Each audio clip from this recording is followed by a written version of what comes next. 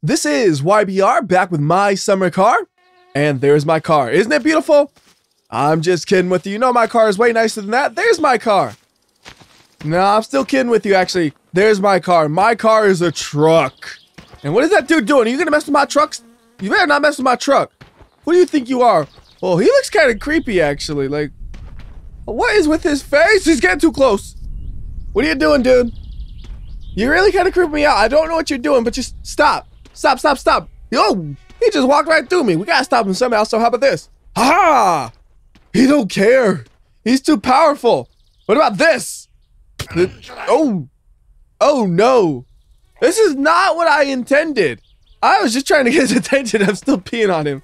Oh, hey, that's that's not a good place for your head. We're gonna put you somewhere safe, okay? So come on. We, I think we can grab him by the shoulder. Yeah, see shoulder. Come on. No, no, no. That looks. No, no, no. I don't like the way that looked at all. Come on. Get up. I'm gonna put. Whoa. What the heck was that? He's trying to run away, but I really don't understand how he even moves. He just like slid on his back for no real reason, it seemed like. So come on, man. We're gonna put you in that chair right there. Oh, really? His arm is getting stuck on the. Come on. Here we go. Stop getting your arm stuck. Get onto the chair. All right, that is good enough. What? Fine, I don't care anymore. You know, I was trying to be a nice dude after I punched you in the face, and you just want to go and fly away. So you fly away, my dude. I don't care anymore. I'm gonna drive my Gifu. I should also mention, I don't know if you guys could hear it, but he was snoring. He was not severely injured. He just got knocked out. He's gonna be fine. In fact, as far as I know, you can't actually kill anybody in this game. So you can be as violent as you want with very little consequence, as far as I know. Anyhow, we're back in the Gifu, looking like we're off-roading. Hopefully we're running over the dude that I just punched out. I think he was under my tire, but he was flying all over the place. He could have flown under my tire when I wasn't looking. But we're back in the Gifu, and we're gonna go and pick up another car to get even more money. I wanna get as much money as I can while I wait for the faster ratchet set to be in stock at the store, and then when that's there, I'll pick that up and actually build the car. But considering I built the car so much, I kind of like doing something a little bit different, like exploring the area more and making some money because I actually haven't really done that that much. All I've done is rebuilt the car three separate times. Not by my choosing, of course. That's because the game keeps having issues where I have to completely restart. Oh, and by the way, there's another issue I have to deal with from another update. This one made my fan belt disappear, the one I went to the store and bought. So we're gonna have to go to the store and buy another fan belt eventually. I figure I'll just do it when I pick up the upgraded wrenches from there since I'll have to be there anyways. we are going surprisingly fast. Like, I don't even want to move the camera to look how fast I'm going. But we're in fifth gear high, and oh no, I just broke out the glass. Okay, move the camera a little bit. How fast are you going? We're going about 70 kilometers per hour on this bumpy road. And I think we were going faster than before, and I should not have looked down. Whoa. Okay, now we're only going about 50. We're at a much safer speed now because I flew off of the road. Thankfully, I didn't hit anything though, because as always, I'm not buckled up. I don't buckle up. I play this game like a real man. I do it in survival mode with no seatbelts. That's just how we played games back in my day. We played them on hard mode no matter what. Even if it wasn't necessary, we did hard mode because it was more fun. And then when hard mode is too easy, you impose extra limitations like no seatbelts. Sure, it's incredibly risky, but the extra risk makes it more thrilling. Also, it gives me a reason to actually care about my driving. Like, if I had a seatbelt on, I wouldn't care. I would just floor everywhere, bounce off everything, and crash all the time. But with no seatbelt, I actually have to think about my driving. And I like thinking about my driving because I like driving in video games. Oop, is that it? I think that is the barn with the car. I have to slow this thing down, then downshift a bunch to get into second low. And I'm gonna put the seatbelt on just for a second because it's actually necessary here. Because we're gonna be using the vehicle as a battering ram. And I don't wanna die for something really dumb. So, ugh. All right, we got one of the doors broken. We gotta back off and try again. I look behind me without thinking. And it's like, oh yeah, I can't see behind me because I have a tanker on the back. So, door number two, you're going down. Third gear, uh. I think that got it. Like, it's still standing, but it's shifted enough where I know it's loose and I could probably just pull the car through it. So now I just gotta line up the Gifu to get the car attached, which means I gotta use my mirrors. which I pretty much only use when I'm towing another vehicle. I don't care who's behind me otherwise. They can wait behind me for all I care. I'll keep backing this thing up, and this is probably one of the situations where objects in me are closer than they appear, but that looks like I'm pretty close to the vehicle, I think, so park and brake on, and ignition off, and oh, I can't get out yet because I'm still buckled in. There you go, unbuckle. Then we can get out of the car. And that looks close enough. There's a little more distance than I thought, but I think it'll be able to reach. So first we attach the tow hook to the car, I thought? Oh, it's not coming up with anything. Can we attach it to the Gifu instead? Let's see. Okay, so we attach the tow hook to the Gifu, then we attach it to the car. Or not. I don't understand why I can't attach the rope anywhere here. I thought, no, there we go. Okay, the rope is attached. We can now go and drop this car off. Ooh, sticking my head through the roof. Don't want to do that. So ignition on. There we go. Started up a little bit faster because the engine was still hot. And, oh no. Oh no, we have like no gas. Hold on. You know what I'm gonna do? Instead of towing this car, I'm gonna go get more gas before we run out. I'll be able to come back to this car because the gas station isn't too far away from here. It's just down the road a little bit more and we can gas this thing up. And then I still also got that gas tank right next to me that I wanted to fill up. Oh, brake. Wait, what? Oh, whatever. We're moving now. I'm not really sure what happened there. I thought the parking brake was on and then I put it off, but it was actually on still, so it was off the whole time. I don't know, it was weird. Know, I really gotta figure out all the lights on the dash mean. Like, how many of those can actually light up and how many do I have to actually look at? I assume the gauge dial for gasoline is actually accurate and we actually do need gas, but I really don't know. I have not played this game enough to say for certain that that thing is actually accurate. This is totally the kind of game that would say, yes, there's a gauge, and it does sometimes tell you how much gas you have, but also sometimes it's just completely inaccurate because this is an old truck and parts fail sometimes, so you can't trust the gas gauge. The only way to actually know how much gas you have is to fill it up and then track how many miles you drive. If I do run out of gas along the way, I think there's still some in the diesel canister that we can use to top this thing off that'll hopefully get us the last bit to the gas station. Although actually there it is, I can see it from here. So worst comes to worst, gas tank's empty, canister's empty, we walk with the canister, fill it up, bring the extra gas here, and then we can top off the truck. Oh, we can make it just by coasting, I think, right now. We're good. Ooh, I see the AI cars. Hold up. Buckle up. It's battering ram time. Here we go. Four high, right into the dude. Broken windshield. And they are angry at me. They're calling me the human waste transport guy. And they say I smell and I gotta go to hell. I don't care, man. That was totally worth it. This is why you buckle up. Any other reason, don't bother. But that's a good reason to buckle up. Also, I lost my windshield in the impact, so that was definitely an impact that'd probably be enough to cause some serious injury if I wasn't buckled up. In this game, there's only serious injury. There's no minor injury. You crash, you die. Although that would be a cool feature in the future to actually get injured instead of just dying immediately. Anyways, let's go ahead and gas this thing up. Although, do you still say gas this thing up if you're putting diesel in the tank? Like, if you say you're gassing up when you're putting gasoline in your car, does that mean you're dieseling when you're putting diesel in your car? I think that might be the right thing to say, and I actually do not know where my canister of fuel went. Oh, never mind. I do know where it went. It fell out when I decided to attack the evil cars. So I gotta diesel up both of these guys. We'll do the tank on the truck first because I'm pretty sure that thing is a lot bigger than the diesel canister. And then once that's done, we can go ahead and do the canister as well. And apparently that is too far away. We gotta move the truck up a few feet and then it'll be able to reach. I forgot how short those hoses were. Hey, what, they're hitting me. All I'm trying to do is turn on my truck and I'm getting hit. Come on, start up. Did it actually start up? Wait, what happened? Come on, don't tell me it just ran out of fuel right now. And they need to stop pushing me. They're making me farther and farther away. All right, come on, start, start, start. All right, I think we started now. Shift into gear and just move a few feet and we're good. Okay, that looks like it should be close enough. Parking brake back on. And then we can go ahead and fill this thing up. And they keep hitting me. I do not like this. I can hit them. They can't hit me. That's the rules. So anyways, I'm going to go ahead and fill this thing up. Whoa. Stop that. That's like, if I get crushed by the truck, I also die there. That's not good. If they hit this thing again, I'm to do something about it. Uh, anyways, though.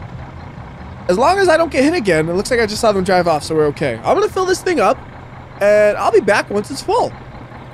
Quick update, it's been about three minutes and this thing is still fueling up. Also, my thirst is getting scary high, and I've also decided to start cursing while I fill this thing up, so that way my stress goes down, so I'm at least doing something while I wait. Okay, we are now done deezing this thing up, and my thirst is in the red. I need to get something to drink ASAP. Thankfully, the store is right here, and I'm pretty sure it's open. I really never can tell if something's going to be open or closed in this game, and it is open. Hey, my man, give me some milk. Just one milk. I don't know how many I actually need to make this bar go down enough, but I need milk. I don't need your stinking bags. Let me drink my milk. Oh, yeah, there's some good milk. Just the whole thing. All in one chug of it. he just chucks it. I like that. He just throws it in his face like I'm done with this milk. So I'm grabbing three milks. I think that'll be enough to make my thirst go down. And I also noticed it made my hunger go down as well. So I probably don't want to drink them all right now. I want to wait until I can get hunger and thirst to go down at the same time. So I'll drink two milks for now. And then the thirst is about halfway. And that's a good safe spot to be. And again, throwing the milk at the dude. And I'll take the other two ones and I'll throw them into my truck. Although, with the windshields blown out, it's really easy for things to fall outside of the truck. So what I probably should do is I should save afterwards. That way the milk is safe. Oh, and also I gotta buy a fan belt still. I kind of forgot because I was so distracted with the milk. But I do need that fan belt still. Toss that in there. And, oh, before we actually go save, I still need to fill up my diesel canister, wherever that thing ended up. It was somewhere under the truck, wasn't it? Ah, there it is, under the tire. That was by the front, not the rear. I could turn the vehicle off considering I just left it running and oh my goodness. I spent like a thousand dollars on diesel right there. I didn't realize how much that was gonna cost, but I guess it makes sense considering we were diesel for like five minutes straight. I'm also kind of curious, does the vehicle actually use diesel while it's just idling? So yes, I'm deezing it more right now, which means it did use some while idling, but it wasn't that much because it was full just like that. And you can actually see the bar move on the canister. That's nice. So that thing's been deezed as well. And I can go ahead and put the cap back on the tank because I haven't done that yet. And the truck should be good to go. So now I'm going to save and reload. So I got the windows back on my truck. And I'm actually not sure what happens when you save and you owe the guy money. We're going to see what happens. And I see three possible outcomes here. Number one, the money is still owed and nothing really happens.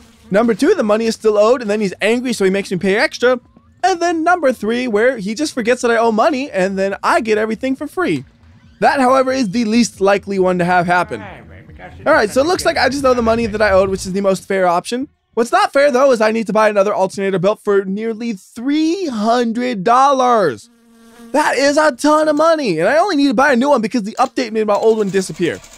That is just so frustrating how the updates always find a way to mess you up. Whatever. I bought what I needed. I'm sticking it into the Gifu straight through the window. I don't care how I stick it in there. It just needs to go in. And we also need to make sure I pick up my canister right here and stick it in as well. Same way. And we are ready to head on out. Just make sure everything is in here nice and safe. Looks good. And oh, look at that. I can't. Huh. What if I. Oh, that's interesting. So when you're not in driving mode, you can't use the key through the steering wheel. But I know I've started the vehicle not in driving mode before. Yeah, so if you go like around the steering wheel, you could start it up. But if you're behind the steering wheel, you just can't. You have to hit the driving mode first. So let's get ourselves lined up in the chair, into driving mode, and let's start it up. And yes, I even gave it a little bit of time to heat up. Was it enough? Let's find out. Ah, it was enough to at least feel like it made a difference. That was nice. Parking brake off. Car into gear, and we are out of here. Ignore these dudes right here. They mean nothing to me. And uh, let's go down to high gear, first gear. Then high gear, second gear.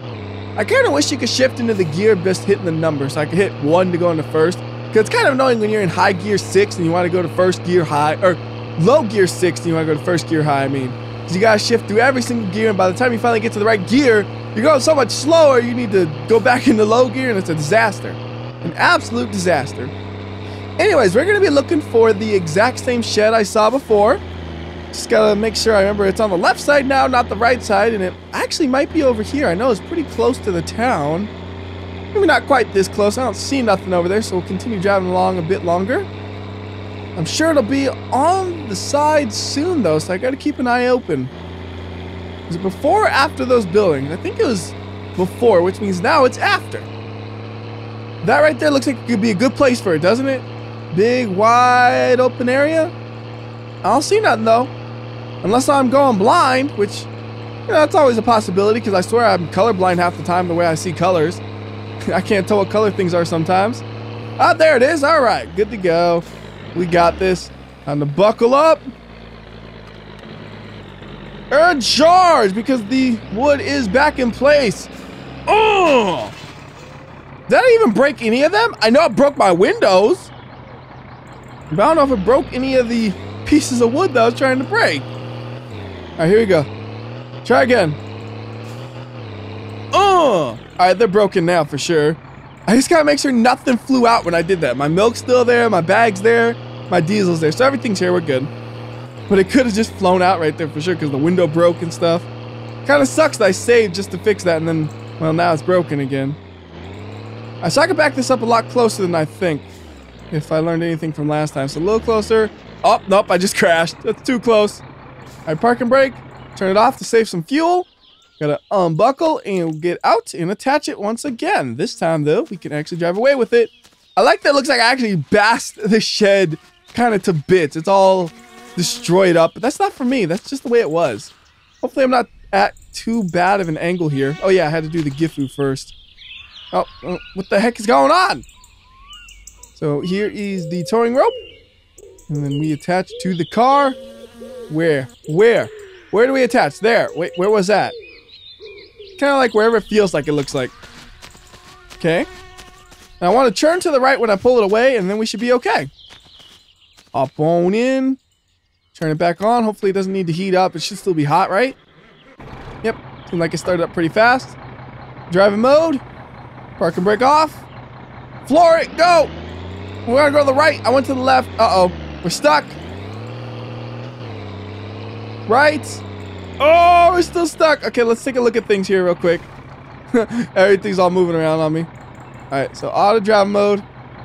What's going on here? Yeah, we just need to uh, go more to the right for sure. Oh, no, that's really gone poorly. That's really gone poorly. I'm just going to keep yanking it. Eventually, it should get free, right? That's my, uh, my hope. Cross my fingers here. Back it up. Oh, we're already backed up as far as it goes. Go to the right, go to the right, go to the right. Then go left, then go right. Come on, pull. Pull. All right, let's take a look at things again. Park and brake out so we don't roll backwards. Has it moved at all? Oh, good. It's actually working. Excellent. Now we go back to the left some more and it should pull out. That worked a lot better than I expected, to be honest with you. So we'll back it up one more time. And then pull it basically forward. And if I close the door, I could probably use the mirrors a bit. Yeah, there we go. It's good. Alright. Don't know if I'm going to be able to use high gear, though, in this current situation. I might have to stick to low gear here. I'll go all the way through the low gears up to 6, and if we need more speed, then we can go into high gears. And I always say those backwards, I think, for some reason. I don't know why. I always feel like I said high gear when I meant low gear and vice versa. Alright, low gear seems to work pretty good here. We're losing a little bit of speed, so I'm not sure if high gear will actually be suitable. If it is, it'll have probably be the lower gears only. Well, maybe we need high gear after all. Let's see. Yeah, high gear it is. Drop down to gear 2, and see, that's why I don't like, is when you have to go from low to high like that, and you have to go every single gear, you just lose some speed right there. Come on. There we go. We're moving now. Upshift to third. All right, yeah. High gear is definitely a good option for towing vehicles. No problem pulling it along at a decent speed. Uh-oh. Uh-oh, we're losing speed, though. Downshift. Come on, don't make me get out of high gear now. Just don't let me stay in high gear at least, please. Oh, no. Downshift. Come on, come on. Pull through, pull through. All right, we're good. Whoa! I was looking at... Oh, no. Oh, no. You see nothing. You saw nothing. That was just bad. I was staring at the speedometer because I looked ahead of me. I was like, okay, it's a straightaway. All I need to worry about is what gear I'm in. And then I look up and there's a car coming right at me and they ain't slowing down. I mean, I should be glad that I didn't die, I guess, but yeah, they. Whoa, what happened? My, did I just? Why did my vehicle just die? Come on, start back up. That was weird. I don't think I caused that. Maybe it was because of the crash? We accelerated afterwards, didn't we? And oh no. Oh no! I'm trying to get back on the road and it's just not making it. Come on! Onto the road. Alright, we gotta accelerate for a while now. Gotta go all the way through the low gears into the high gears and all that. Now, I know it did look bad that the other guy got hurt, but I remember somebody else mentioned in a previous video that nobody actually permanently dies. They just get severely injured until you reload the game, in which case they'll be fine. So we just pretend that never happened, and well, it's basically like that never happened. So go straight to high gear one, and that works. Good.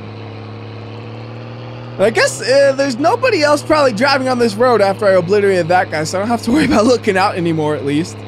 That's bad, ain't it? Ooh, turn on the bacon. I didn't even know you could do that. There's like warning lights on top of this thing. That's cool. Ha! Neat. All right, another hill. Do I need the downshift? Don't look at it too closely, but yes, yes I do. Do I need to go to low gear? I think we got Yep, we're good. Back into high gear two.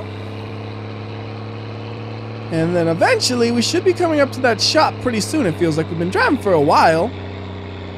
Although we have been driving slower than I expected and we had the collision and stuff, so maybe we're farther than I think we are. I don't know, either way, we'll keep driving and we'll find it eventually, I'm sure.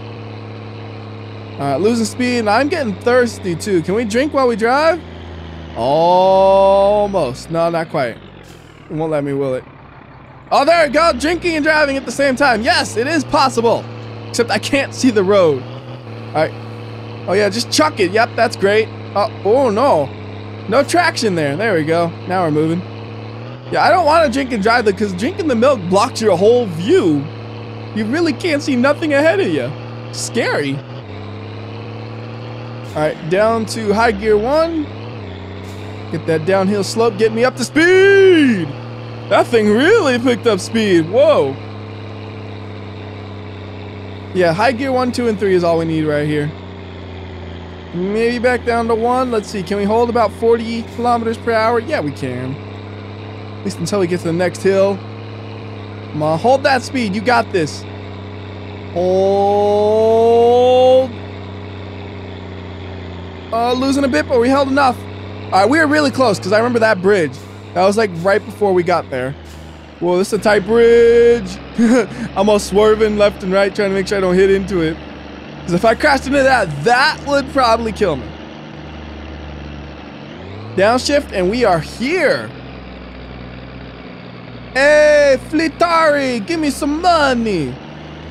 I'll bust into his car right here like, uh. I slowed down at the at the last second too because I thought, oh wait, what if I get hurt doing that? All right, out of the car. And then, hey man, let me get some dollars. Oh no. Oh no, he's closed. There's something, the door's not opening. I don't have a watch, so I don't actually know what time it is. Hey dude.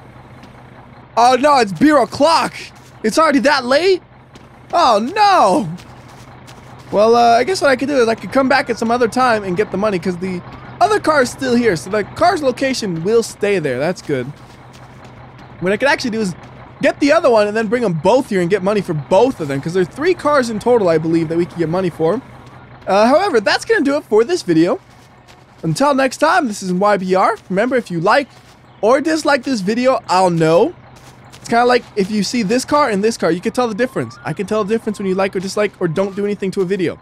So do the right thing, and I'll see you next time.